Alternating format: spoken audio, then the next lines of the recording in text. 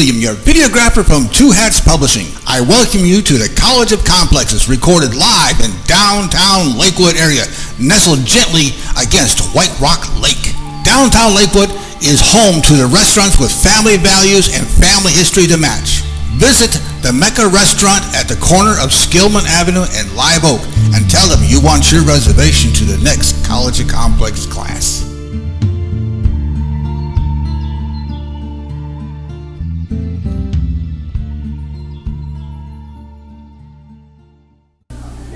Welcome to the College of Complex. This is our 202nd meeting since, uh, since we began here in February of 2009. We put a different speaker on every week, a different subject.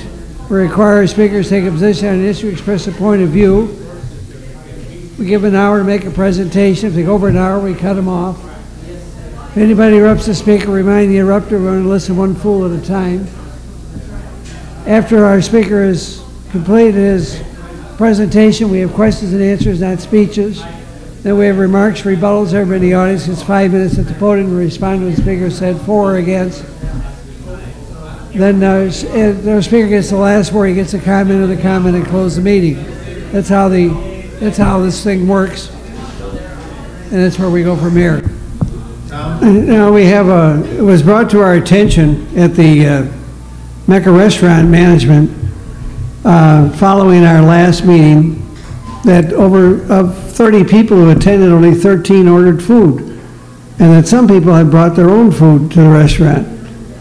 And it was the desire of the restaurant management to terminate our use of their facility. After much discussion, the restaurant had agreed to a charge of $5 explaining that it was anyone at- at attending our event. This would be a minimum. They also agreed to put on two waitresses to give, to, to help out with this. We are supposed to have two waitresses today, anyway. This means that you must order something that would exceed five dollars, you'll be charged accordingly. Hopefully, this would serve to restore our credibility for, for a strong and lasting tenure. Well, today, we were notified that, uh, that's not true. Uh, they want to charge five dollars on top of everything else. So, which is not, not a good thing. And uh, I told them so, and it, we're getting nowhere, so this will be the last week we're here. Right. Anyway, we thought there'd be a happy arrangement, putting a five dollar minimum on there, that would, that would be the end of it. Because people would bring their own food and they'd order something. As soon as they saw it was five dollars, they'd order something, you know. But that, uh, that isn't, they're not satisfied.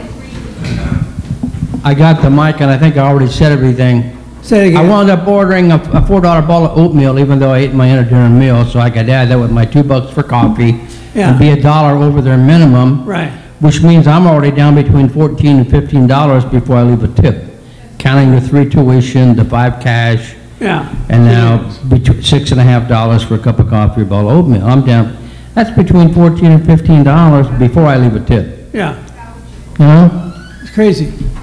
I agree. That's why we're not gonna be here next week. Um, no, Al. Let's have a duel. What about, what about the $5 being mandated as tips to the wait staff spread equally? Oh, it's a good idea. That's a good idea. But we ain't gonna be here anyway. We're not gonna be here, but that's a good idea. Now, I, I would like to make an announcement, Susan. I, uh, I've been making this announcement each week for a while. November 17th, I'm going to be doing a crop walk for hunger. First of all, I'd like to thank those people that have contributed so far. But I will be asking each time if, uh, I'm trying to raise about $200 myself. Uh, But the crop walk is for hunger, 20% will remain in the local area. Basically, I'm in Mesquite and Garland and, and Dallas, and it will go to food banks there. The rest of it will be spread for world hunger.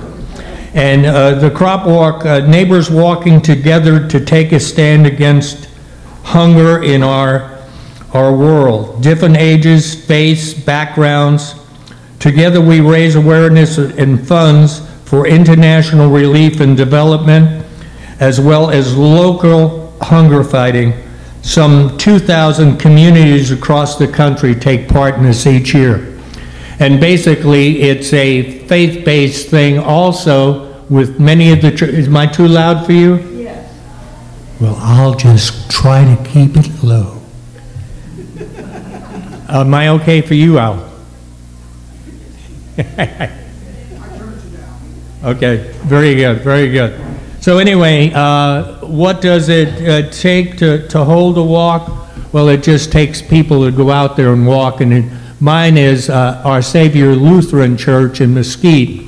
I'll be walking with those people, and it'll be held November 17th on a Sunday. Now, they're happening all across the country uh, to fight hunger. Now, here's what some of the things do. What difference, and, and we're walking 10K. And the point is, why do we walk 10K? Because it's a nice round number. No. Basically, what it is, is most of the people in, in developing countries have to walk at least 10K for their water, sometimes their food, and so forth. And it is, uh, we do have a world hunger problem for those that care.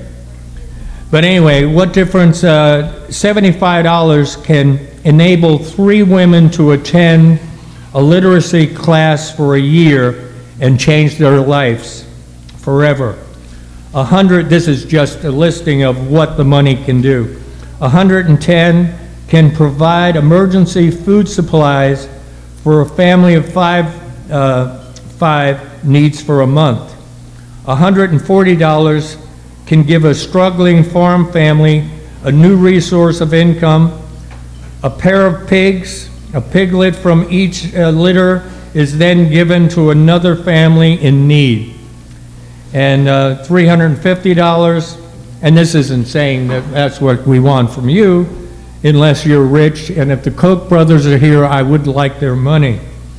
Uh, uh, can enable 350 the eldest in the child-headed household of AIDS orphans to receive vocational training so they can support their siblings and themselves.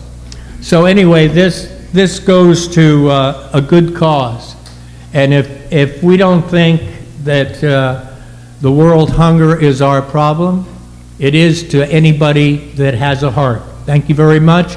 And again, I thank those that have already contributed, and those that haven't, I'm available.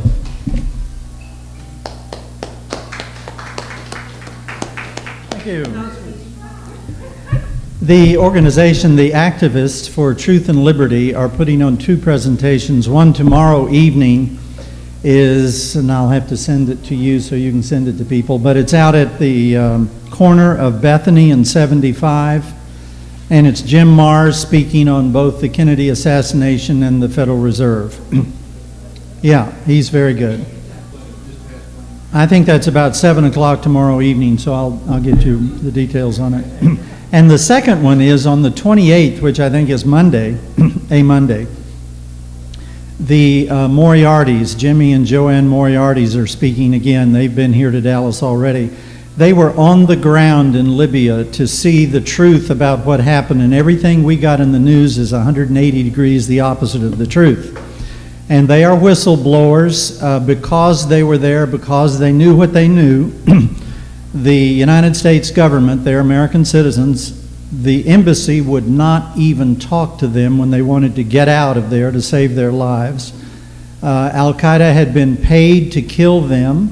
They had $19,000 in their pocket and bought them off at the last minute and got through that. They only got out by going to uh, European Union countries and getting out through one of the, uh, um, I guess the European Union has an embassy that's in common now. That got them out, but they got back here and they had performed on them what is called a soft kill.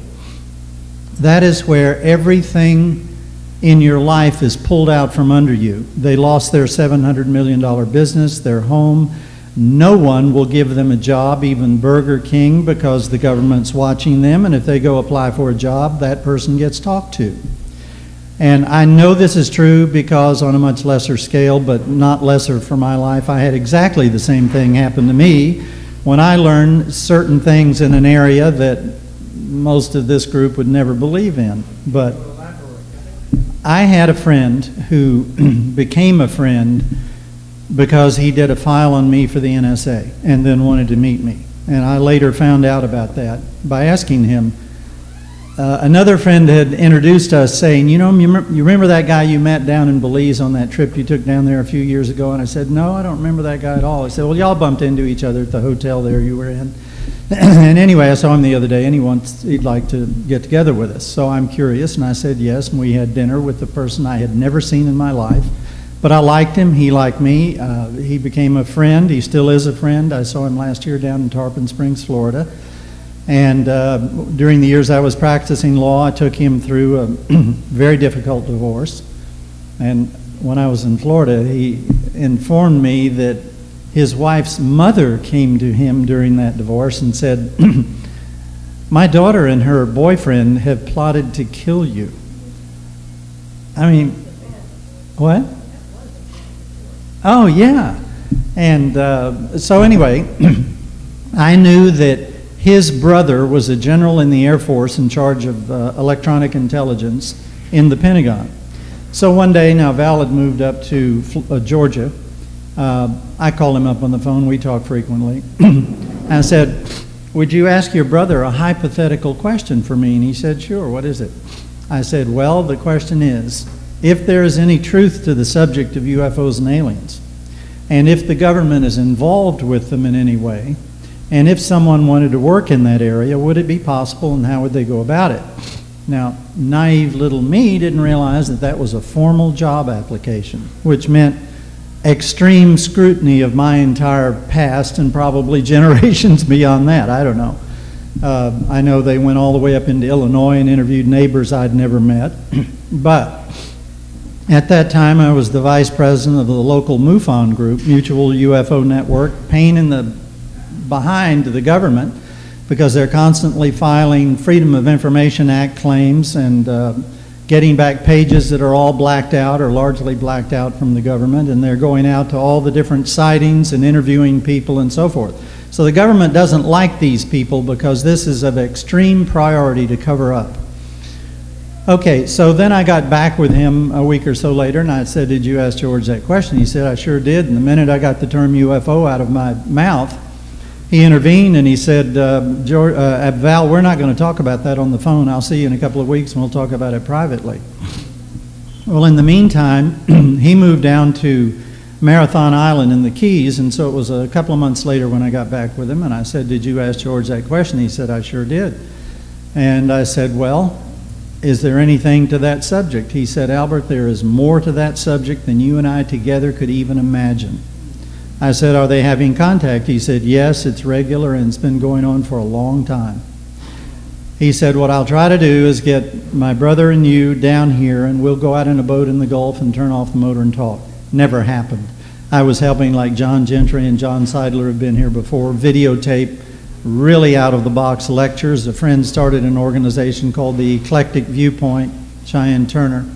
She brought in from England the guy who was uh, the leading expert on crop circles over there. And if you think two guys with boards mashing down weeds made crop circles, you know, what are you going to ask Santa Claus for this year?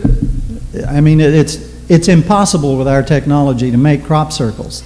We don't know how to do it. And uh, same with building the pyramids. We, all the technology today couldn't build the pyramids. I mean, there are a lot of things like that that are mysteries still. And, and so it came around towards Y2K, and here I am without a job now, and I'm thinking, well, what the heck can I do? Well, 30 years earlier, I had programmed in the COBOL language with IBM as a computer systems engineer out in California. And so I thought, well, heck, yeah, I, I was a good programmer in COBOL, and that was the big issue, the two-digit date in COBOL. If you will remember, when it rolled over to the year 2000, the computer's going to think 1900, and the programs are going to blow up. And I realized that, and a friend of mine, classmate who was also an SE with IBM, realized that, and we talked about it. We even went up to his cabin for Christmas and New Year's to wait out the, the big crash. And it, uh, this was funny. At, at midnight, we got out on his porch, December the 31st, and we're looking across the valley to Westcliffe with all the lights on. And at the stroke of midnight, the whole valley goes black.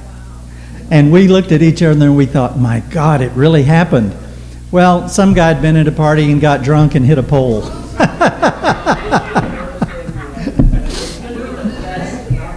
Westcliffe, Colorado. It's, it's, it's time for this Y2K pressure, and they're needing, according to the books and so forth, 750,000 COBOL programmers to solve the problem without a worldwide crash, and, you know, they didn't have them. So I figured, oh, heck, I can, I can do this. So I went out and bought some books on COBOL and figured out all the new instructions and techniques in the language for the last 30 years and boned up on it and went and took an exam. And the guy said, Well, looks like you've been programming for the last five years. Yeah, I got jobs and I got one and I worked for about six months, put an extra 25 grand in the bank. So, a- anyway, uh, our speaker tonight had trouble getting here, and he's finally here. And uh, my wife was making bets. Anyway, uh, Isaac Oglin, isn't it? Og- Og- Og- Ogeen, all right. Now, he's a registered clinical staff pharmacist with Centene Corporation. He's going to discuss the Affordable Care Act. Obamacare is it here to stay? That's uh, all of you have uh, uh, itinerary in front of you. I don't want to waste your time or put you to sleep reading all this. Oh my God. So I just want to preface this by saying whoever created the freeways here in Dallas, um, they intentionally put us in this trap for which we will get ticketed and warranted and it's a long story. Um, I had I had some warrants, um, so they caught me, and it's the worst week of my life. Um, but anyways, it's it's it's going to get a whole lot better. That's a that's a topic for another day. But I want to specifically talk, and I just I'm just going to give like a rough overview of of my take on this and how it fits in with the larger piece and what this means economically for us and, and kind of the way um, I, I approach things because I do I have my undergraduate degree in biochemistry and I have my doctorate from the University of New Mexico. So when I look at things, I look at them in terms of systems and I look at them in terms of balanced systems. And then we have this whole other science of um, unbalanced systems or chaos theory.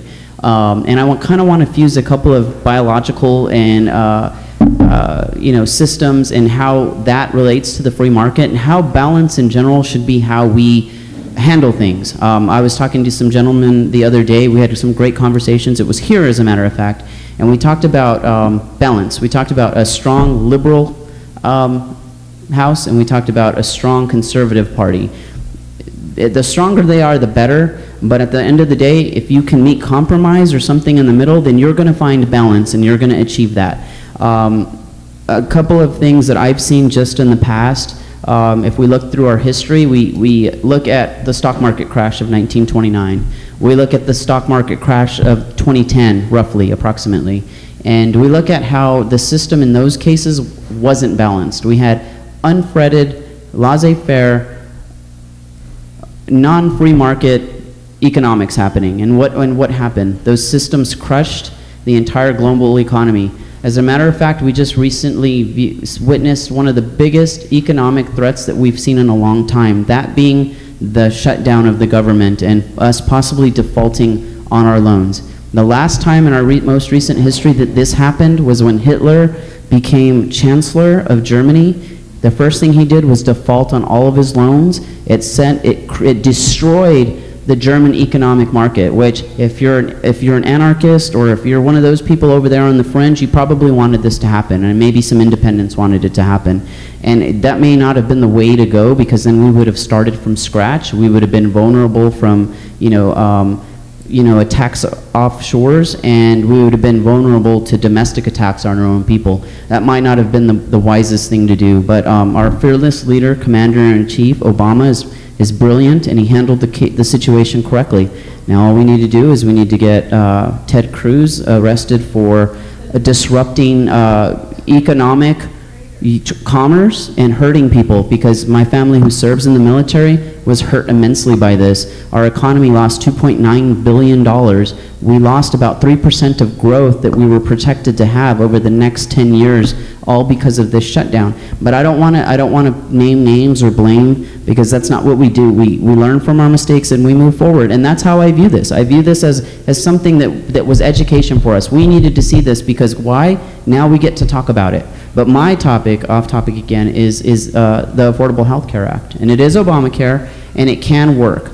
Over the past uh, recent years, um, we've seen three major industries take over the market, those being the insurance companies, those being the drug companies, and, and now the rise of what I call, quote unquote, the industrial hospital complex. And really what that means is when you have three markets controlling everything, you find collusion. You find it in gas, you find it in computers, you find it when um, Stephen Jobs supposedly, or Bill Gates supposedly had owned the market where his processors or his uh, software was being put on every computer that came out. It wasn't allowing anyone to compete with that. Well, right now we have, I'm a pharmacist, so I've seen 30 cent tablets um, and if it's HIV or it's, you know, if it's HIV or if it's cancer, or anything related to that, or even something related to autoimmune diseases, they will mark up a 30 cent pill all the way up to probably 100 to 500%. And the reason why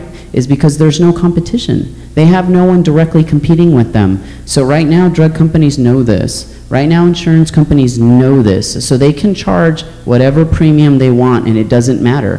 What Obamacare is going to do and what the bill is designed to do is it's designed to break up this free market. It's actually designed to create a free market. So for anyone that's into a free market, then Affordable Health Care Act will help us. I want to uh, draw attention to a time when the system was chaotic. Let's go back to 1929. There wasn't any regulations. There weren't any rules.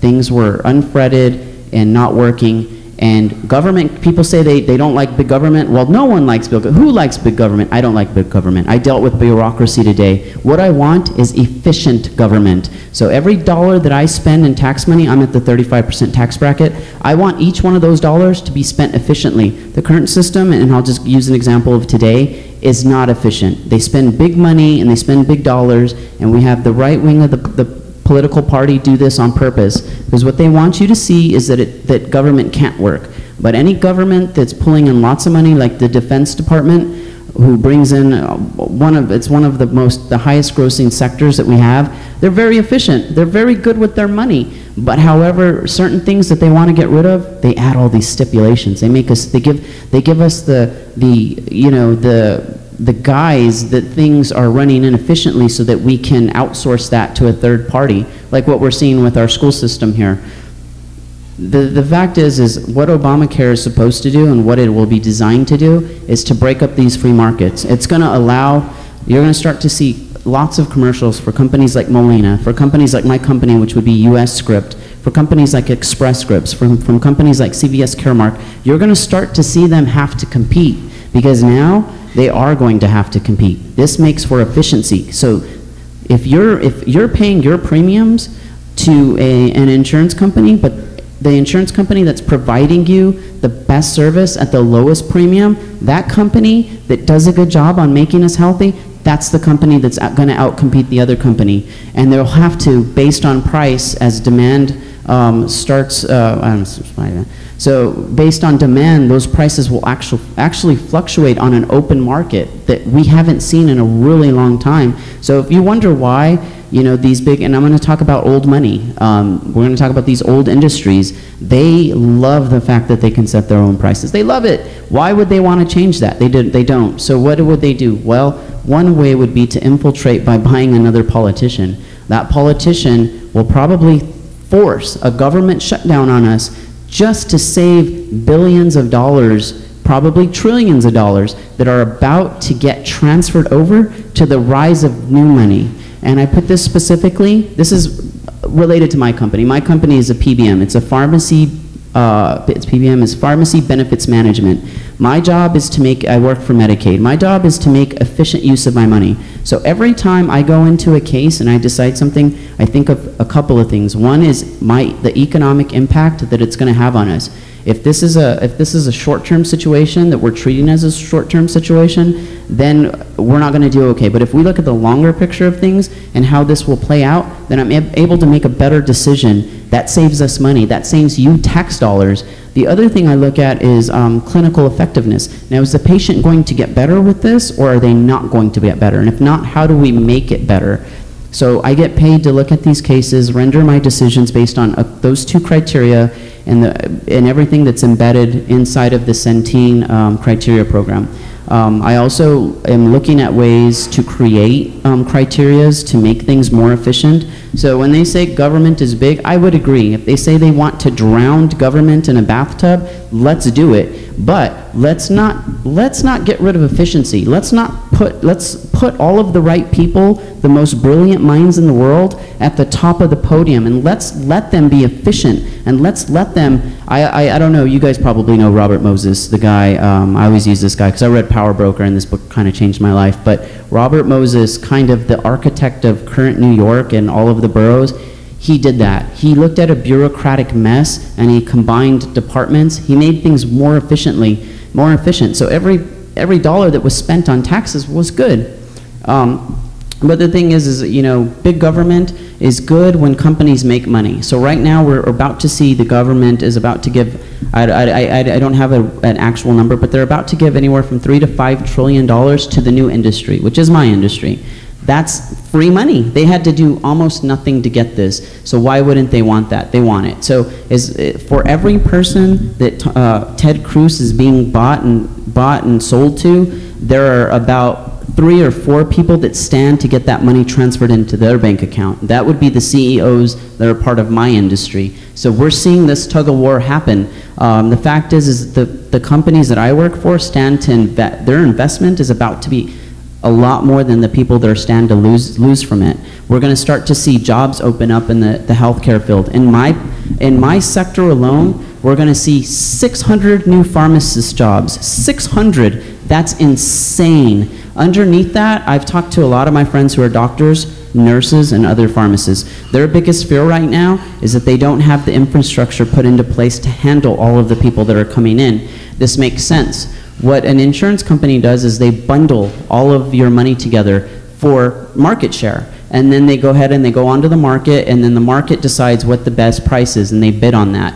Um, that's awesome. That's re that's really amazing because that's how it should work. Um, the fact is, is if everybody does have to pay in the system, that is on average going to reduce premiums from on average $900 per month, uh, sorry, per year down to $600 per year. That's amazing. Now, a lot of people are upset because the cost is going to be upfront because that's called an investment.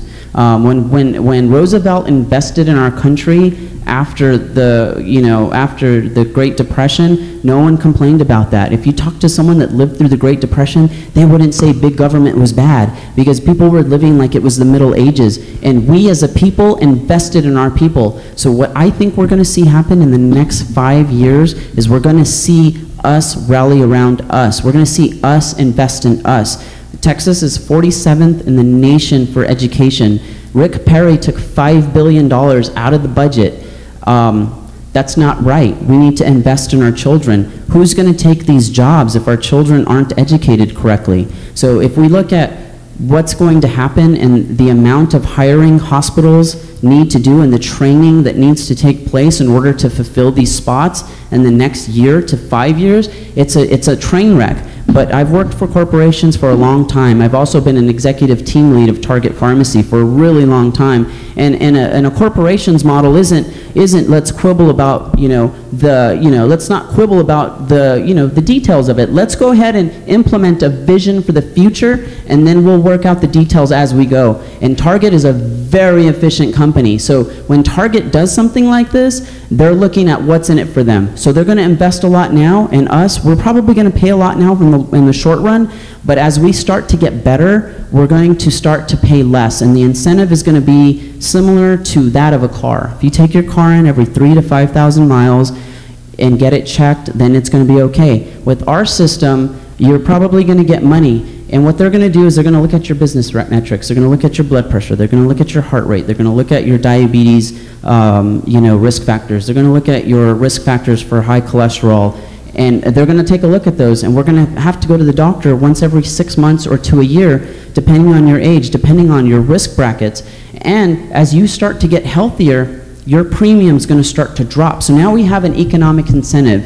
If you want to pay more, then you can be unhealthy, but you know what? As a taxpayer, we're not going to incentivize that. You are going to pay more for that. But if you're getting better and we see the progress, your, your discounts are going to start to add up. So we are, we're going to start to think long term. Right now we have, and I think the exact quote is, is our current system is get hooked on our drugs and kill yourself, but we don't care about the long-term, uh, you know, possibilities for you. Instead of, uh, we want to do preventative care. So we want to look ahead. We want to look at what your family predispositions are. Are you predis- Are you a predisposition for having diabetes? Are you do you have a predisposition for having Alzheimer's? If you are, then let's take the correct steps right now, so that later on down the line we can get it figured out. So that's what we're moving from. We're moving from this this huge system that's unsustainable, that can't function on its own, that's very top heavy, and at any moment can collapse because the stock market knows that it's about to collapse. Everything that they have invested is based on a veneer of, of, of a, not a foundation. There's no foundation there. It's based on what can happen tomorrow or in, within the next day. You know, if there's a tragedy in Benghazi or if something happens in Libya, then I might make some money off of gold. We'll use big hedge funds. We'll use our 401ks. We'll risk your future for our short-term gain. But with Obamacare, it's going to start to have long-term solutions to a lot of these vexing um, situations in an attempt to make our lives better and more efficient.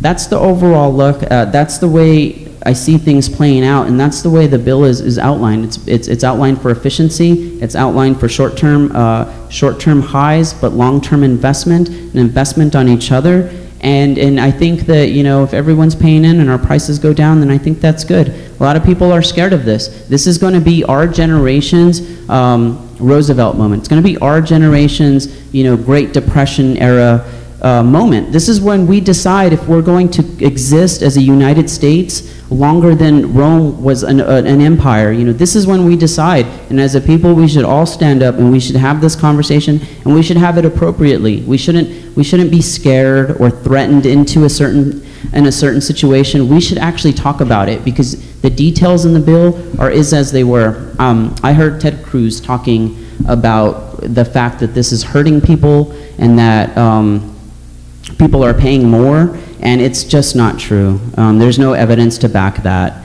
um, at all. If people are paying more, then they're paying more. Um, what we need to do is shift the burden of pay from the middle class to the 1%. Because those are the people that don't make the economy move. Those are the people that sit on their investments and watch it get bigger. What we need to do is we need to take that money, we need to put it back into each other and watch that grow. Um, and the middle class that is the class that makes money move. That is the class that makes business move. Though that is the class of people that, that builds things. It isn't, it isn't Mitt Romney. It isn't CEOs. They don't build anything. Uh, we build it. They just uh, get all the credit for it. Um, but that's kind of all I have. I wanted to make it as short as possible. Um, so that I'm not meandering through a whole bunch of information. I, I, I specifically left out statistics. I left out um, any of those things because the broad overview is the most important thing. I had a bunch of statistics, um, but I don't think they're, they're necessary. Um, I'll, uh, I guess it's, it's question time. So, um, but yeah, thank you so much. I, oh, I, I'm so sorry that I made you guys wait. Um, but um, I'll go ahead and hand this over. And oh, okay. So I guess it's question time. I don't know if uh, we're gonna go ahead and hand a mic out. Oh, we got one over here. You got one. Who wants to be first? Ah, Who wants to be first? Well, Al wants to be first, but I got the mic. Uh, Do you know where we stand as far as healthcare compared to the other industrial nations or around the world? And do you know who pays the most for healthcare? Okay, yeah, that's a good question. I wanted to actually get into this, but I didn't want to bog anyone down with any extra information. Um, here's the thing Germany and I want to say Sweden have one of the, have some of the most efficient healthcare systems in the nation, and it, they would actually, in the world, sorry, um, they would actually probably be the model for which we'd want to go after, because they, they have situations and systems um, where they, I think they have, you know, we all know that, that Canada has, you know, um, the you know, when someone gets pregnant, they have the leave for the mom and the dad, it's good for the baby. But they have one of the most efficient healthcare systems where everyone pay into it. I don't know the details of it, but I, I, I would have to say that I've seen a survey of what the world is doing, and we're way, way low on there. And they usually determine these things based on infant mortality rate. And I think that's one of the biggest markers for this. We have one of the highest infant mortality rates in the world, which is telling us that I don't care how much money we've spent, on our, on our healthcare system, it's not efficient. If we can't beat um, the next socialized, I don't want to use that word because people get scared of it, but the, the next system that, that offers healthcare universally to everybody, if we can't beat them with all the money that we put into it, then we're doing something wrong because they have a much lower infant mortality rate than we do. no, no, this is, yeah, how are you doing? Good seeing you. I wasn't able to make it on Tuesday, but it's good seeing you again. Um, I wonder if the government would go along with allowing an insurance company to provide a plan whereby their insurees would be able to go abroad and get the same kind of treatment for a fraction of the cost. Right. And um, also, I would like to just make this statement. Were you aware of what Gaddafi had set up for his people in Libya? No, no. Every single citizen in Libya got total health care, no matter where in the world they had to be sent. The government paid room board, tuition, medical expenses, and the family can go with them. Government paid it all. Wow. And and what did that look like? How did that? What was the feel? Like, what's the feel of the general?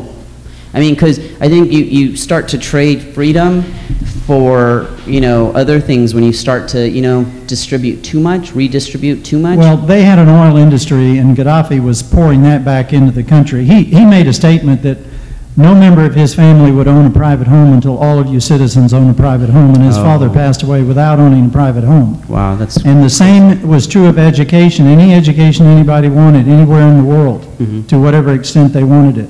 They loved that man dearly. Right. Well, you know, it reminds me, you know, they say Hugo Chavez is this evil devil man, but he was really battling uh, oil interests there. Um, he really was. And I think that is the biggest war, uh, governments and industry. Because I know out there they, they really, they ran the coup, they did all of that stuff, but is, did, in Libya, did, were they, was that the same sort of situation where you saw the oil industry trying to rise up against that? Because you're obviously you're going to get the one percent elite always backing away from this whole idea of risk redistribution. Um, I think the oil industry there was pretty much controlled by the government, Mhm. and Gaddafi's government pretty much figured that this belongs to the people. right. And, uh, I mean, women in Libya had equal rights of men. They drove their own cars. They could go to the top of any company they wanted Right. to. The- There, there's no way there could have been a revolution.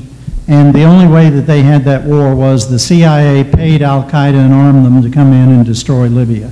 And the reason for that was that Gaddafi was trying to get various African nations to join him Right. in a single currency that was gold-backed. Mhm. And the most powerful cartel, the most evil cartel on earth, Mm-hmm. is the international banking system of which, the Fe- of which the Federal Reserve is part.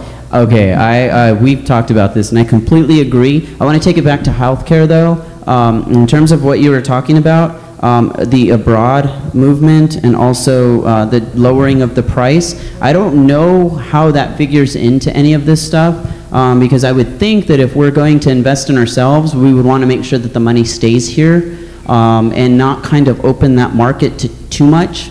Um, I would think that having a closed border system might actually be more beneficial to us because it, it, it'll keep the generation of jobs and money here. Um, but go ahead, I'm sorry. Well, in response to that, there's, Mhm. there's one thing. Okay. The pharmaceutical industry drives the healthcare industry. They have Congress totally bought off. It doesn't make any difference what the party is. They're one of the most powerful cartels on earth, and they're ruthless. No, I agree. Um, I like how you Ev- use, oh, go ahead.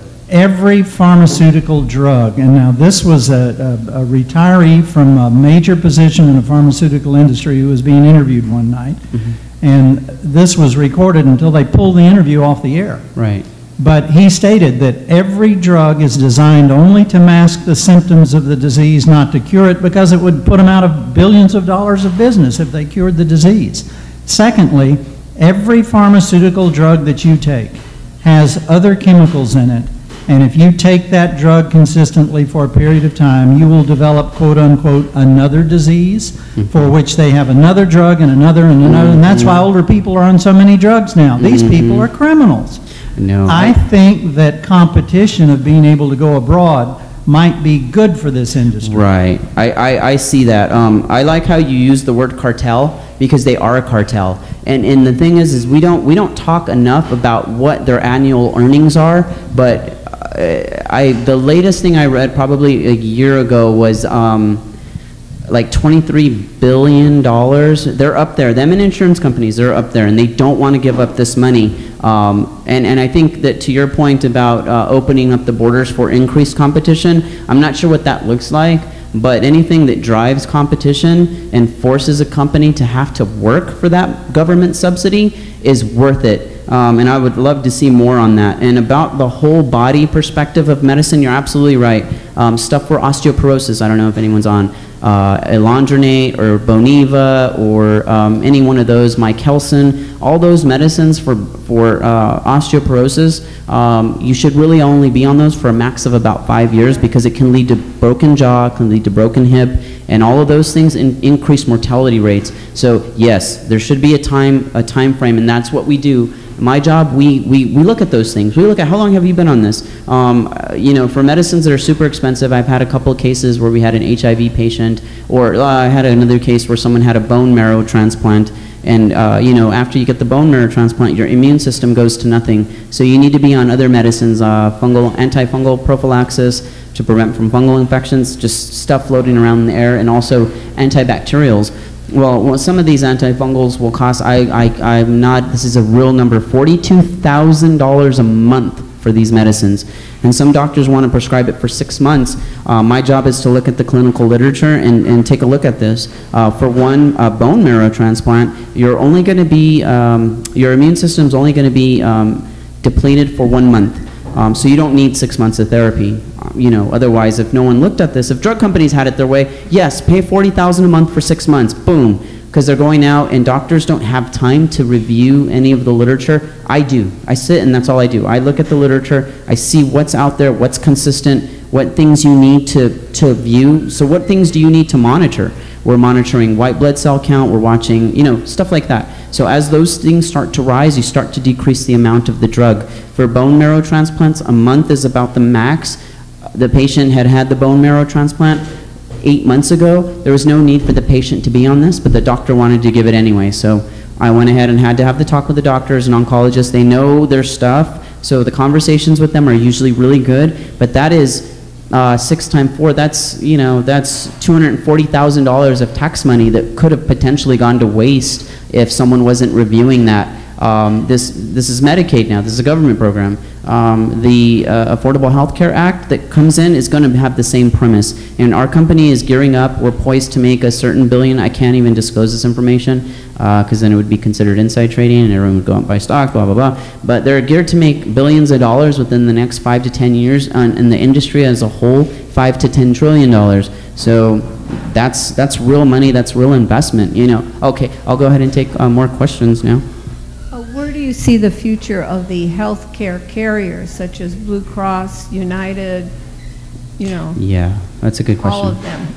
Okay, I can tell you the, the, the, the insurance companies that aren't efficient, and I'm gonna tell you, they're gonna have to make major overhauls, because if they don't get it together, they're going to get out competed. Um, Molina's a good company. US Scripts Centene's a pretty good company.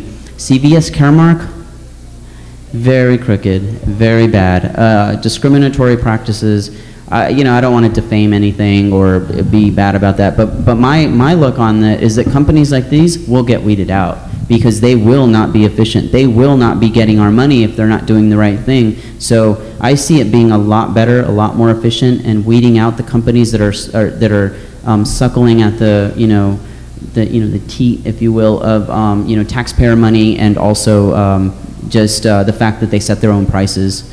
Uh, Okay. Good. Of the program? Um, I don't know what the initial cost is. I just know what they, they, they, so every, every business company tends to have a, a projection of what they tend to make. And so as an industry, the five to 10 trillion is extra money. That's, that's profit. Yeah. That's, that's after everything's paid money. What I really want to know is who stands to make the biggest, most Oh. ludicrously exorbitant windfall excess profit off this whole. I want to say mess, but you seem to like it, thing Right. up front? The pharmaceutical companies or all the insurance companies? Who stands to ma- make the hugest, largest, ludicrously ridiculous exorbitant windfall profit. Right. up front? Okay, so this is something that we have to weed out slowly. Um, it's going to be CEOs because they always make the most money. The CEO get, takes their money off of the top. So they are going to, they set their own, you know, they set their own uh, wage, they set their own amount, they set everything. They do everything that they want to do. They have way too much power. So the CEO for sure is going to make the most money of these companies. Um, with time and as we start to change and start to look at the facts and start to elect our start to get out and vote and start to get the wrong start to get the, the you know the wrong people the extremists the special interests out of office we'll start to see regulation you know people looks at look at regulation as a bad thing regulation stopped us from uh, a stock market crash up until it was deregulated again and right around, you know, I don't want to name presidencies, but right around the 80s, 90s, and currently. So once we start to instill those things back into us, into the system, there will be caps on who makes money. And the exorbitance and all the extra money will actually become more efficient and put back into the system to where that your tax dollar is now going further than it did before. And that's okay. You know, I'm for taxes. If I don't live in, you know, a third world country where guerrillas are running around shooting up people, I'm okay paying 35% of my tax dollars. It's worth it to me. So what I want to do is get rid of big government and instill efficient government. Um, and definitely CEOs make the most. Okay? Okay, I might have a misunderstanding here. Okay. Um, uh, What, if, uh, if, I understand there's caps on uh, the uh, Affordable Care Act on how much you can have to pay far as the premium. What if I found out that the uh, cap, uh, the the the percentage is better it with Obamacare than it is Medicaid? Can I uh, take, can I choose? Um, not necessarily. You know, there's always going to be um, sort of uh, criteria that you'll have to meet. It's usually based on income, and it's usually based on what your employer has offered you. So a lot of times, what I see is that if your employer, so if you have two working, uh, you know, um, uh, two two adults in a relationship that are both working currently, uh, most plans will um, they will default giving coverage, added coverage, in lieu of, of the the you know the um, primary coverage. But if you wanted to elect to do Medicaid, uh, you you would have to fit in a certain bracket, and if you're in that bracket, you're in. But the the um, the I guess the um, criteria for getting in is so stringent that you have to be amongst the poorest of the poor. If you're, it, it, basically, there's this threshold value that if you're ab- above that threshold and slightly below it, um, from there to middle class, you're you're you're the worst off. You have the worst. I mean, I don't know what that what that um, that price range is, but if you're there, you have the worst. The poorest of the poor tend to have a little bit better, but it's not a it's not a vacation. It's not it's not like Reagan calling you know women uh, you know welfare queens and and you know swimming in pools and and this fantastic world that just doesn't exist if you're on welfare. My, it didn't for me. My mom was on welfare, um, and our world, our our house was caving in, um, and there was such a stigmatism put on you know welfare or not that people were scared to even say they were on it. People people despite having the option to do this felt like they were going to get discriminated against if they used it and my mom was one of them. We went without electricity. We went without heat. We went without running water for for time periods unknown. Um, you know our, our roof was caving in but it was because of the stigma. She was raised in a uh, my grandpa was a nixonian republican and he didn't like freeloaders and he didn't like anyone messing with his tax money. So my mom purposely, who raised me independent by the way, purposely um, would not, you know, would not go on welfare. She felt like she was a bad person and we need to change that rhetoric so that, you know, what we can do is if everyone is, is using it and using it wisely and getting off of it accordingly, then we're actually running, you know, we're, we're, we're, we're being better as a people. And we need to not look down on people that need those services. We need to reach out to them and say it's okay if you need those and, and, and start to be a community again of people wor- working towards a common goal and less of a, you know, a, a, a cutthroat, you know, I gotta beat you and you have to pull yourself up by your bootstraps or you're poor because you deserve it or you're poor because you don't want money sort of mentality. That's, that's not how we view it. If my family needs help, I know that they've worked hard and I'm not gonna deny them that help. Um, and I think that if we looked at it like as in terms of we're all family and, and together in this together, then I think we will move forward as, as a people. Now, I'm, I'm part of a different generation. The generation that I'm part of, and, and I have my brother-in-law with me. That's Christy's little brother back there. I'm sorry, I don't mean to draw attention to him, but um, he's part of a different generation. And this generation, um, she is busy. Yes, so she's super busy. Um, I wish she could have come out. Um, she said to tell everyone hi, though. So, hello. from, that's from Christy. Um, I'm, I'm gonna. I, I was hoping she'd meet us here, um, but she's just she's got way too much. I, you know, and and there's a lot of support. So everyone that's helped out with that, I really appreciate it. The election starts November. I didn't even plug it. I didn't even do a shameful, shameless plug. So the, the early voting election District 8, um, our area code is 75204, um, starts on the, the 21st of this month and it'll run through the 5th. So um, hopefully, and then again, this is where we're seeing the private companies wanting. Um, it's basically her, uh, Mike Miles's um, secretary is running um, against her. That's her opponent, and they want to instill a, yes, a business model. So what they're going to have is instead of principals, it's going to be like Target, like where I work. They're going to have executive directors. I don't know what the title is, but their salary is going to be about 200, 300,000. It's going to be more than the president. And so I'm like, wow. So my tax dollar is going to go right to him. He's going to get his paycheck before our kids get anything. And they already started the process of consolidating um, the schools down to make way for these huge amounts of, of um, profits to go to the CEOs, and that was the 1310.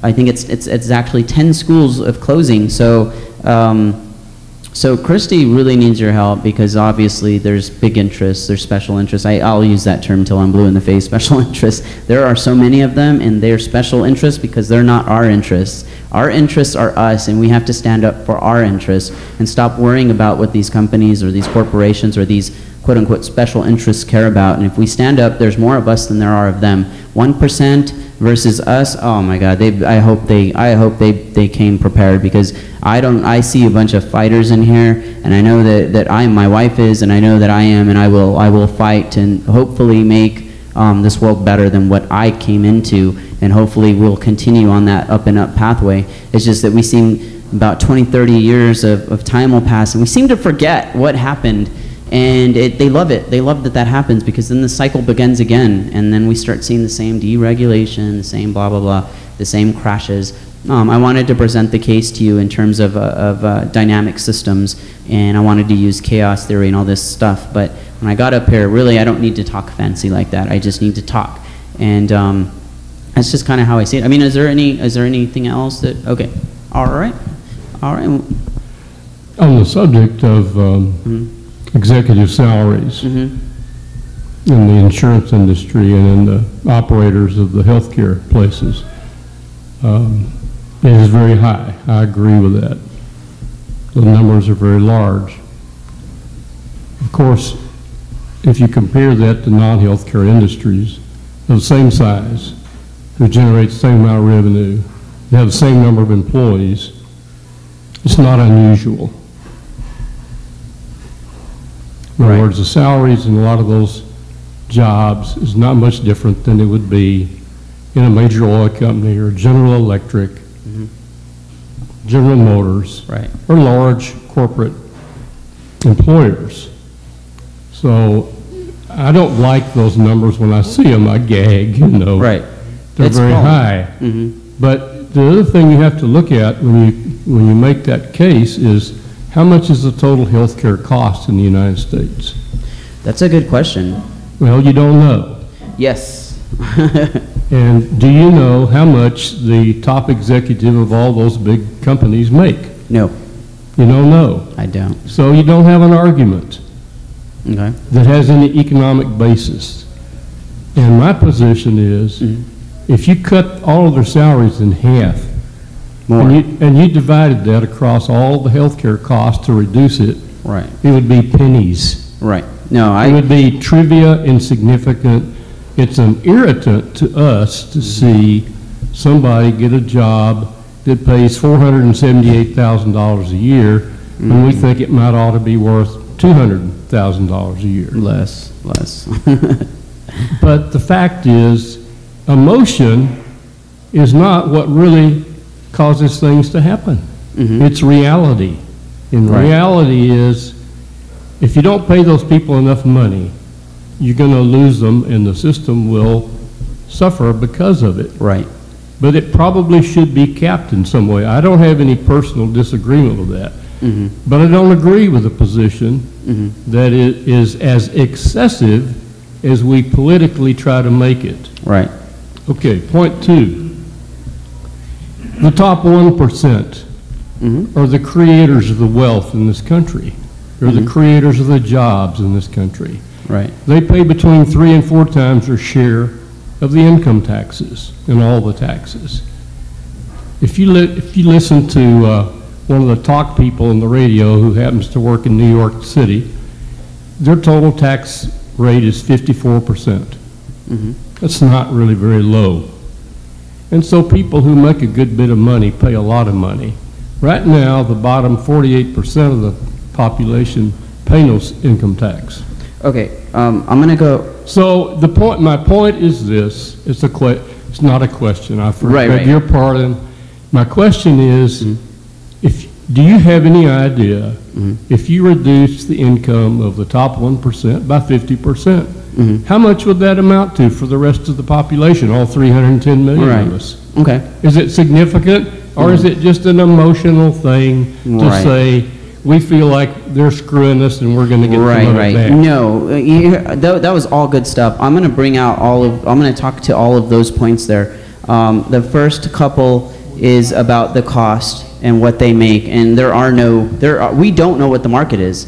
They haven't had a market, so the only reason why we have prices where we have them is because we've allowed the market to adjust for that. So the price of a car, the price of the house, but we don't know what the real numbers are on the price of medicines or the price of healthcare. We don't know because we haven't had a market that's that's been open to allow us to set those prices. You know, uh, here in Texas, a three-bedroom house, 3,500 square foot, $250,000. HIV medicines, cancer medicines, right now their market says per year millions of dollars based on that. So we don't know what those costs are. We will find out though. Once the market opens up, we'll be able to single it out. Now, point two, you said 55%. Um, okay, uh, after they get through all of their loopholes and everything else, the average um, income, the average uh, tax rate for the wealthy is about 35%. It's actually, it actually steadily dropped from around Roosevelt's time from about 90%, and it's been on the steady decrease to about Reagan, who dropped it from 50 down to 40%, something close to that, uh, don't quote me on that. And then under, uh, you know, under uh, Clinton, it dropped down to 40, 37%. With Obama, it stayed at 35%. Through both of his presidencies, Obama has not decreased the average um, tax rate on the wealthiest of us, uh, the wealthy of, of the Americans. They still, on average, pay 35%. So 55%, that's not, that's not totally accurate because if you divide it and average it up amongst the 1%, it averages out to about 35%. Hopefully, we get that number, number up and once that starts to rise and the market starts to open, we'll start to see what the true numbers of everything are, and we'll start to um, uh, spread the money out. Uh, uh, an economy in gridlock doesn't work, and it's it's because the, the really rich they really don't buy any. I mean, they it's like nothing to them. It's like you know a, a hundred thousand, a million dollars is like a dollar. So let's get them to spend their money. You know, and uh, okay, I guess it, uh, I guess we have another question. Another question? Oh, there, hold on. Question? We gotta leave time for rebuttals, you know that.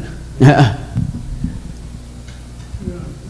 I'm sure there's not any, but do you see any possibility of an effort to get alternative medicine an equal footing with the pharmaceutical industry? Because there are so many natural cures out there that actually work without any so-called side effects, i.e. poisoning symptoms. Is there any real effort to do this? I know the UN is trying to do the opposite, to stamp it all out. Uh, Right. Any feedback on that? Um, no, I, well, yeah, actually I have a lot of feedback on that. No, I totally agree. Natural medicines are the way to go. We haven't explored that enough because, well, there's a number of reasons, always industry. Uh, the second, one of the second biggest markets is the quote-unquote natural medicine free market. They own a huge lobbying degree. They probably make as much, slightly less than the actual drug companies. So these are the companies that bring you saw palmetto. These are the companies that bring you estrogen. These are the companies that bring you um, any other type of um, alternative type of medicine. They don't want this stuff to be studied because if it gets studied, we figure out what the active ingredient is, then they're not going to own this market anymore, and it's going to become it's going to become a market that the drug company owns. So they have a lot of money. They put a lot of money into the stake that says we don't want you to study our products. We don't want you to study any of this. Like for instance, aspirin was part of uh, white willow bark, and uh, uh, they studied it and they figured out that the active ingredient of it was the actual acetylsalicylic acid, which is the aspirin molecule. So if we start to study more of those things, then these natural drug companies are not going to like that. So we have to fight that. I hope we do because you're right. There's a lot of potential in a lot of natural medicines. I'm a total believer in that. There just isn't any studying of that. Um, you also talked, let me see. Yes, so you also talked about from other countries. So this is the biggest racket. What, what the drug companies do is they go ahead and they give um, medicines. What they do is they try to, um, they try to decrease the prices um, based on the market of other countries. So like for Africa, South Africa, they're, have epidemics of HIV in the numbers. They have uh, yellow fever issues. There's drugs that, that treat that, uh, mefloquine, uh, you know, atovaquone, and then all of your HIV medicines. Um, they will sell that to them at 20% of what we get, and then if that money, if those drugs get re-imported back to, into the United States, it jumps up to 150, 200%. Um, it's ridiculous. No, we, we should have, uh, I think, a recycling program. The recycling program should allow unused medicines to be checked and verified by the FDA um, and then put back into the system because that would save a lot of money. Think about if it went out for 20%, it came back in, you buy it at 10%. You know, oh God, yeah, that would be awesome. I wish we would do that. I like, I think, thanks for bringing that out. That's, that's, that really is an interesting point. I wish they would do that. Any more questions? That's it? Oh, I got another question. All right. I believe it's a pretty well-known established fact that anything having to do with hospitals, healthcare, medicines, uh, salaries and wages to nurses, nurse assistants has been allowed for probably the last 30 years at least, if not longer, to escalate at a higher percentage rate than the regular overall rate of inflation. So now we're paying through the nose, so to speak, for anything having to do with healthcare. Right. Because that was allowed or permitted to happen. Right. Which should never have been allowed to happen in the first place. Right. What is the average percentage above the rate of inflation? Anything having to do with healthcare has been allowed to Hmm. uh, escalate um, more than the, the, the overall rate of inflation. Um, and, well, here's the thing. So I actually wanted to talk about that. Is uh, I term it the uh, the hospital industrial complex, and the reason why I term it this way is because doctors' salaries have been at a steady decrease over the past 20 years, while CEOs' proportional proportional income has increased uh, similarly. So as doctors' um, average salary has gone uh, way low, CEOs have been shoveling that money into their pocket. Um, private hospitals do the same thing. So doctors are extremely stressed out. They're very stressed out with Medicaid. They're very stressed out with government because they're they're not getting paid anything. They go to school for all these years. Um, if you're my personal thing is, is I do it because I love it. I, I would do my job. I get paid a pretty handsome sum for it, probably more than I should get. But I, if I had the choice, I would do it for thirty-five thousand a year. I don't care um, about cost. I do it because I enjoy it. Um, doctors that go and you know, there's a huge profit. There's this whole um, notion that if you make it, you know, if you give like with CEOs, if you give them this huge economic incentive, you're going to drive the best of the best. That's not true. What you're going to drive is the greediest of the greedy. So they're going to do that job only because they can do it. They're not going to do it because they enjoy it. You know, doctors really should make a connection with their patients. And when I'm when I'm with the patient or I'm doing my job, I try to make that connection because I actually enjoy what I do. Um, what you need to do is probably I don't, I want, I don't want to say drop it, but what I want to say is keep it static, drop CEO salaries, put that money back into the system and invest in our people, and you will start to see the people that enjoy it and the most intelligent people doing it, and you'll start to see the greediest of the greedy, you know, do what they want to do. You know, let them, let them go do their thing. They don't need to be operating on me if they don't want to. So that's a good point. Um, I wish I could have talked about that more, but yeah, I don't, I don't know the numbers on like inflation rates and stuff like that, but I know that doctors are getting paid a, a huge percentage less than what they used to get paid. Um, but yeah, cool. Or, all right. Oh, we're I got one question, then we'll drop it. Uh, Do you think that, uh, do you see anything ahead for the single-payer system? Um, I think that I like the option. I know that they fought hard to put that in, and I actually think that's a good compromise. I think that um, I don't I don't understand all of the details with the, of what's going on, but um, I know that the single payer um, is is a good option. I think that if you want to take that option, you should go private company because, like I said, some private companies just do some things better than um, government companies or you know government run. Um, most of the government, um, like Medicaid, is it, it's contracted out to like my company. So um, we do a pretty good job. I mean, we're a private company taking government subsidies, but the single payer option I think is a great option. If you if you can't afford it and you don't you, you know you can't be in the private system, it's it's um it's probably going to uh, where's I going? It's probably going to be to your benefit if you have more money, then you get more care. You know. Um, you know, Medicaid, uh, I think we give, I think honestly, our Medicaid patients are treated really nicely because our three biggest goals are quality um, and service and also uh, efficiency. So those are the three big pillars that we, that we tend to work on as our overall uh, mission. So, yeah. Uh, I hope it, I hope, I don't know what to, to make of the single payer right now, so I think though, yeah, okay, good. All right, I guess it's, uh, cool, thank you guys. It's really nice to see everyone again. Um, I'm not sure what's gonna happen. Oh, you get, we, we Okay. get, we get rebuttals, and then you get to, you get to respond to all the comments that are made. Sit down, you get to con. Okay. So now it's your turn to talk. Yes, it is. Yes, it is. You get, you get to expound here for five minutes, whatever you want to say. I want to, I want to get my 10 minutes like Alex. Five minutes. We'll give you five minutes. Just five?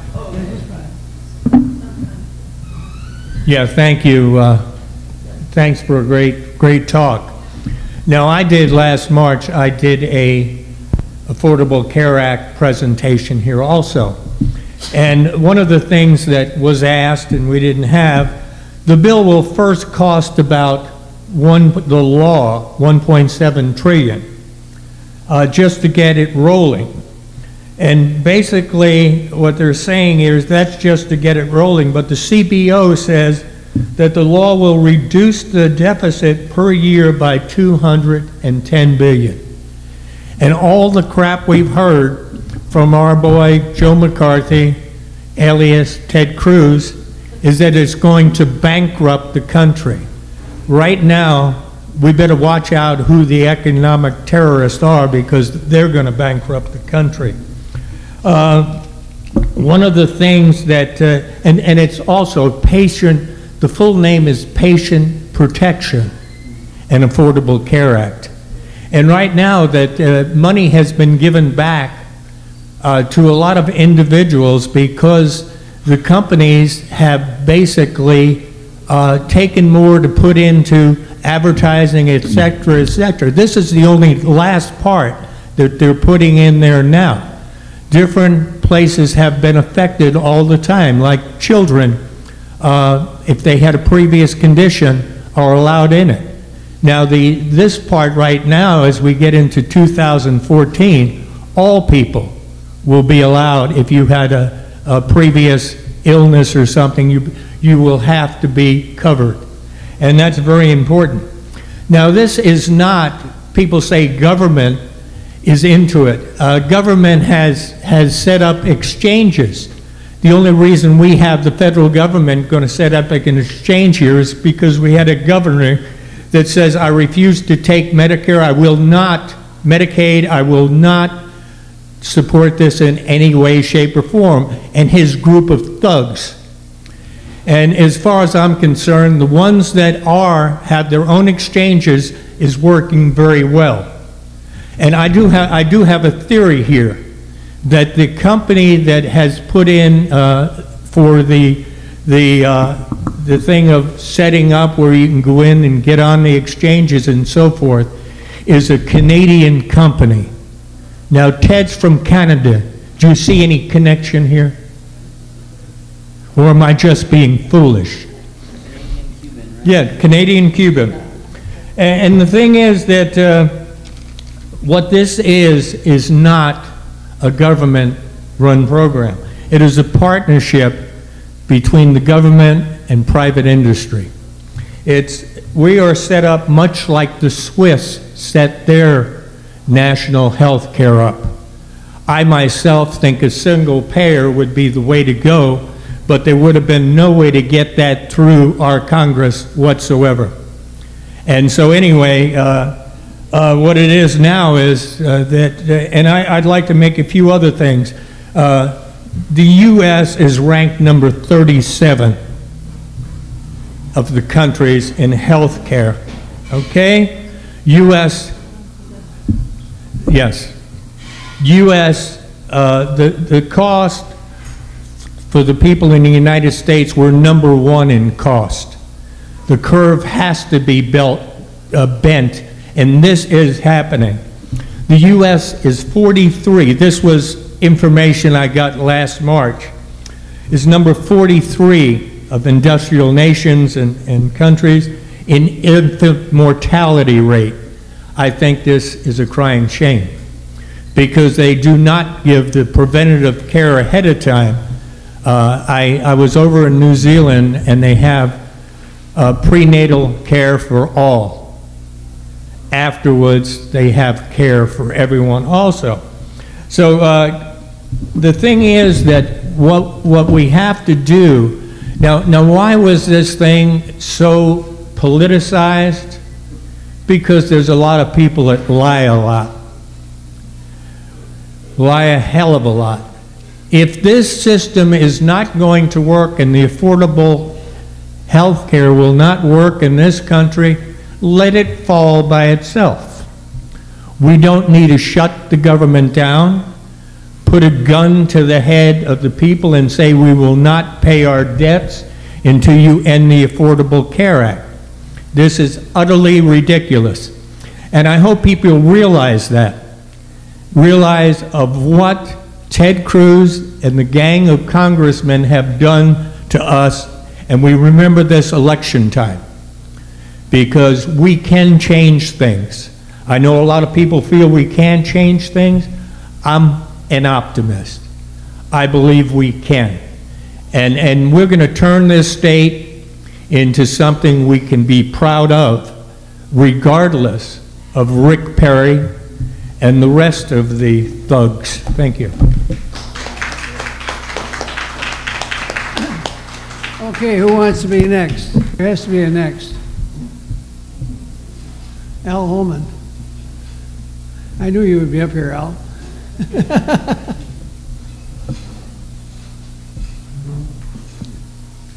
You have five minutes, Al. Everybody's been telling me that.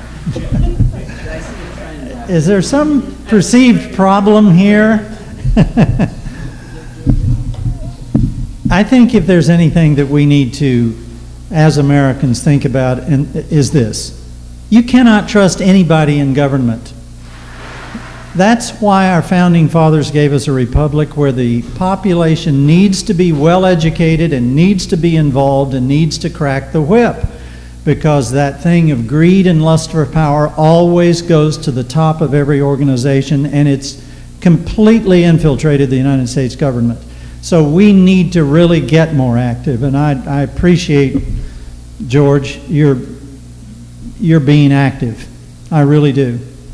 And Isaac, I thought that was a great presentation. I really enjoyed it. Uh, to further illustrate how we cannot trust our government, if you go to the U.S. Patent Office and uh, USPTO and put in the patent number five, let's see, 5676977, I think it is, you will find the United States patent on the cure for AIDS taken out by the same people who got the patent for AIDS. AIDS is a weapon to reduce worldwide population. Now, that is operating through our government.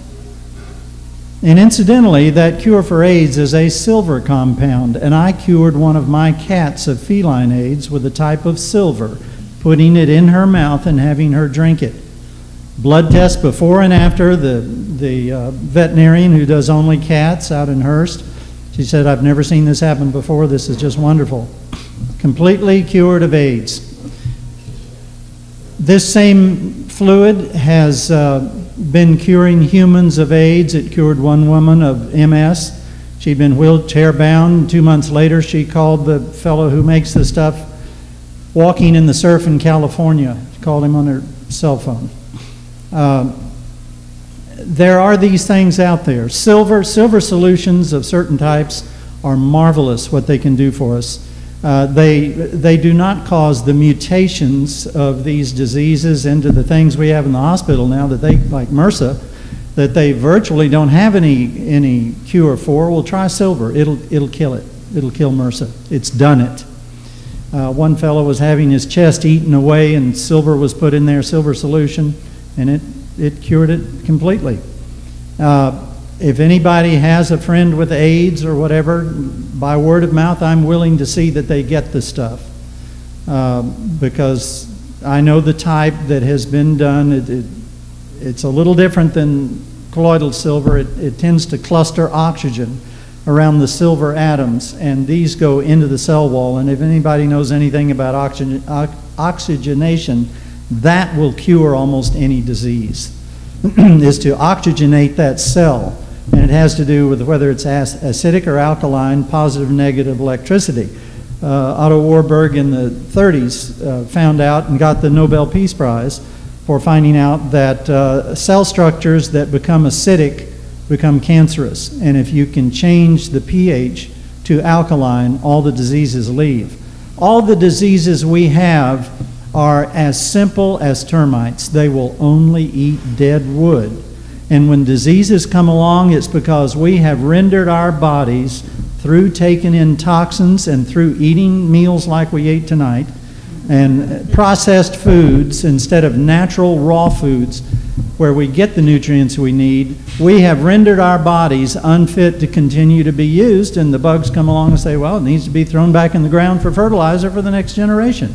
That's how nature works. If you clean up the body, all these things leave. Uh, I would strongly recommend anyone to go look into the natural cures of different things. Uh, there's so many cures. I, have got a list on a computer at home of 18 known cures for cancer. Uh, there's one, uh, if you go to Alibris Books, you can get a book called the Bruce, B R E U S S Cancer Cure. In the back of it, it lists where you can get all the ingredients. He cured in his institute, it was either in uh, Switzerland or Germany, I think it was Germany. He cured over 42,000 people of cancer, cured them completely. And in his book, he says that leukemia is not even a cancer and it's really, really easy to cure. So here we have an industry that makes so much money out of all of these treatments where they manage your disease. Of course, they want to manage it for as long as they can extend out the payments they get from you, no matter how much you suffer. You bet. Anyway, uh, 5676977 U.S. Patent Office, if you don't believe it, just go look it up. 5676977. I believe that is the one. And that, I mean, doesn't that say something about the society in which we live that there is the patent in the United States Patent Office for the cure of AIDS and the patent for AIDS. I was told in 1974 by a CIA agent that World War III would be in the 80s. It would not be nuclear, it would be biological, it would be made to appear to be the natural outbreak of a disease. and the purpose was to eliminate black Africa in the subcontinent in India, he was talking about AIDS. That large breakout of AIDS in Africa happened in a region shortly after the, the World Health Organization was inocula- inoculating people extensively in that area for various other diseases. And they also administered to a group in Haiti and homosexuals on both coasts of the United States, and it is a weapon and it is mass murder, and our government's up to its ears in it. Uh, We need to watchdog the heck out of our government because they're full of criminals.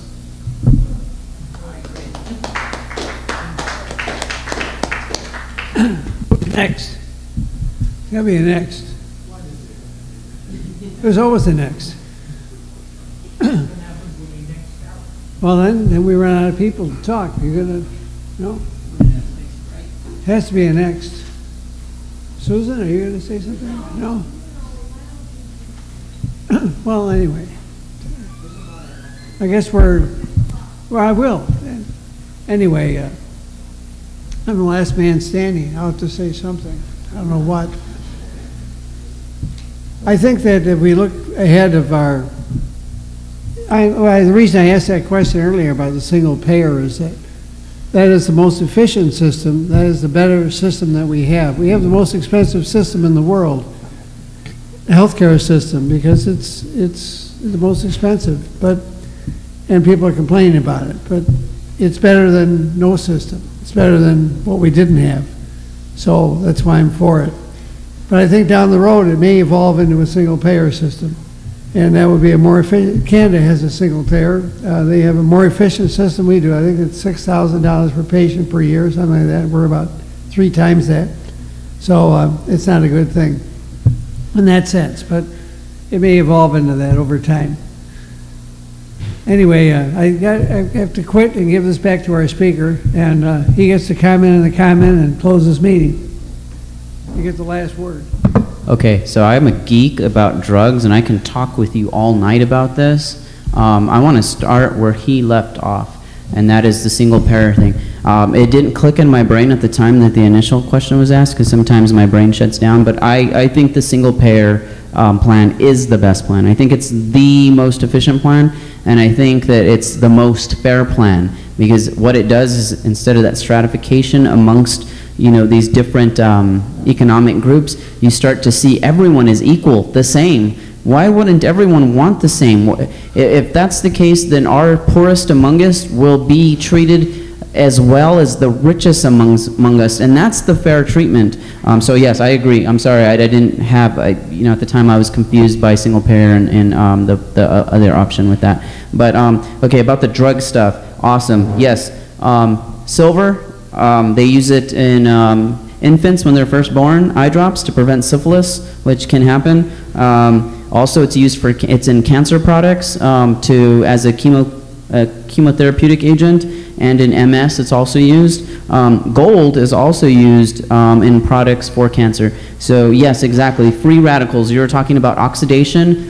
And oxidation, uh, like if you smoke or if you do anything, uh, fatty products, which are complex molecules, um, they are they they become the final electron acceptor instead of oxygen, which is very dangerous. It's one of the most dangerous substances, but it's used to power up all of our systems. Um, Oxygen-free radicals is how our body deals with the immediate. Um, uh, so when we, we cut ourselves or we have some in, the inflammatory response, our body sets up a free radical system in which our white blood cells will actually go to that area and use oxygen as the final electron acceptor to split the oxygen. It's called oxidation, and it passes that electron on to the microorganism and it kills them. So I love that stuff. I love infectious disease. No, I don't love infectious diseases. I just I can talk about it a lot. Um, but uh, yeah, U.S. ranked 37th. Uh, yeah, those are all really good. New Zealand is one of the best. I think New Zealand and I think uh, Swi Swi the Swiss system and the German system, I think they're tied up at the top. I'm not sure how those actually pan out, but yes, I agree. If we could shoot for a model, it'd be for one of those ones, and I believe for single payer would be the most fair to everybody.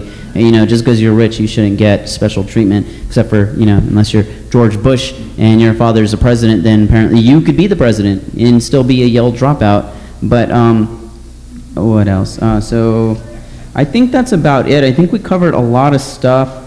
Um, in this, and I, I, I could talk about this all day. I mean, I do it all day anyway. So I think it's all about education, and it's it's we need to get rid of the fear tactics and the lies. I heard liar, and I heard economic terrorist. I think that's absolutely correct. I think as Hitler was those, I think Ted Cruz embodies those things because Hitler is only a great man because he did horrible things to people. He was actually an idiot, and when he fell, and then you know Ted Cruz is an idiot. So let's get rid of him and let's get rid of any uh, you know tea party okay you're a tea party yeah, last week i misspoke and i said i used a bad misnomer for it for the tea party. Um, this is what i think is happening. I think that we're starting to see um, people not like the republic the two parties that exist right now. And so i see i think we, we're seeing people gravitate towards what they agree most with. And so we have we have a cer- certain age group and we have you know the the the majority the the white male um, older gentleman um, and I, I think we see them trying to identify with other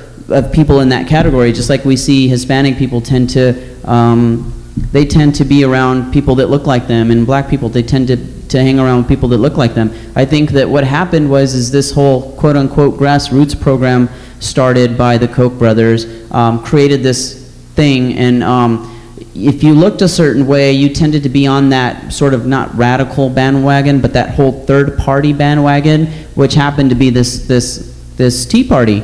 And I think a lot of people just did it because that's what they felt like um, it, it looked like. It mimicked them the most. But I think that what we're seeing is that their policies are horribly destructive and that the economic terrorism that they can impose on our, our, our country and our government is tremendous because we had one guy, um, a couple guys, Mitch McConnell was up there, you know, there was a couple of other ones, you know, that, that hurt us so bad more than they helped us. And, and now, you know, we have another potential crisis on our hands. We, we, we see growth has been stifled, and, and we do need to watch our, our Congress people, and we do need to be involved, and we need to make ourselves involved. And if they don't listen to us, we need to talk to them because the thing was is I, uh, I wanted to talk about Obamacare and I wanted to talk about how we can strengthen it and what would make this so. What makes this so is talking to our, you know, and I did. I tried to call Ted Cruz. I tried to call Mitch McConnell. I tried to call Michele Bachmann. And I know people who you know, when, you know, Ted Cruz was doing his green eggs and ham, you know, filibuster, I know people that uh, actually read it to him. So I did call him, and I did, Mitch McConnell, okay, look, they were shut down on that first day. You couldn't even get through any of those um,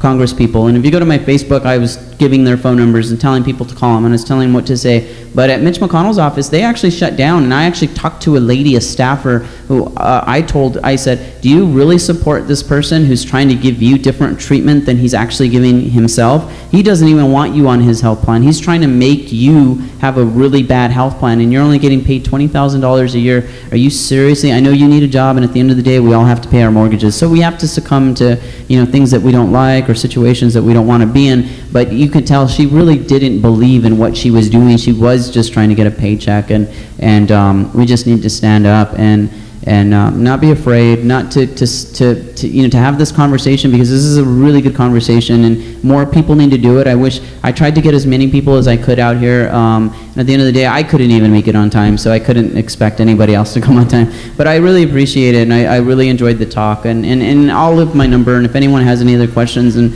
uh, feel free to call me. You know, and my wife is awesome, so you know her, um, and she's doing her thing. We'll, we'll give her a break tonight. But I appreciate everyone, and, I, and it, this happened to be like the worst week of my life, but I think it ended up on one of the most positive notes I've had in a while because I think this conversation is super positive, and I think also too I want to say something about labor. We need to support our labor. Um, otherwise, uh, you know, I want to bring up a, a, topic that right after the, you know, um, the uh, let's see right after, you know, right when serfdom happened and we, we exited out of the black, the dark age, we saw that um, these monarchies needed uh, people to drive their economies, and the cost of labor actually went up. I mean, um, they were willing to pay labor, but they still weren't able to give rights to children. They weren't able to do any of these things. So our, our single and only contribution that we have is our labor, and if we withhold that labor, then we actually uh, we actually have power in that. So, you know, when they say boycott or they say walk out and they say do these things, that is our power. Our power is our labor. And if we stand by our labor, then they have to meet us somewhere. So don't be afraid to give up your labor. I mean, I know it's a sacrifice, but I'm willing, I would be willing to do that um, as long as we had, um, some representation, as long as we passed, uh, you know, reform that allows people not to be used, uh, you know, markets that, uh, uh, yeah, I'm talking too much. But anyways, uh, thank you so much. You guys have a great night, and um, I'll give it back to Tom. Thank you. Bye. Thank you. out here at 10 o'clock, so uh, our speaker, this will be our last meeting at this place, so we're going to go somewhere else next week. I don't know where, but I This is William, your videographer from Two Hats Publishing. I hope you enjoyed this video. If you like it, please leave comments below, or like us, or follow us, and get notices to all our videos. Remember, when visiting the Mecca restaurant at the corner of Skillman Avenue and Live Oak, tell them you want your reservations to the next College of Complexes.